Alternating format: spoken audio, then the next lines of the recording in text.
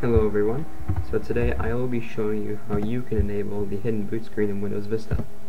It is a very easy process, so let's get started.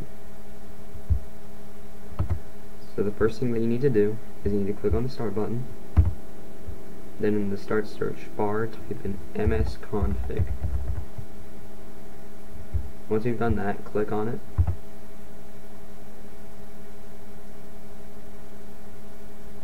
You'll be prompted with this window, just continue.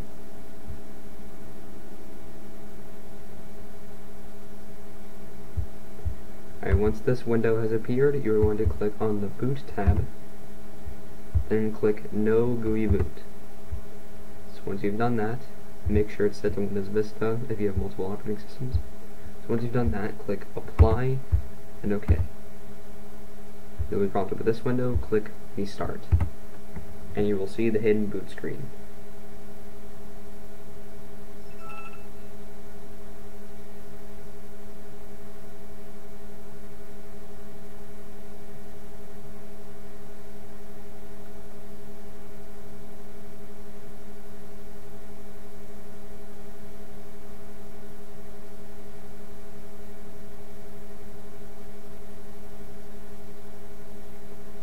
here it is.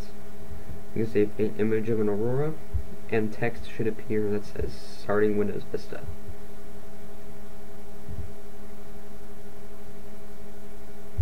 Right here, yep.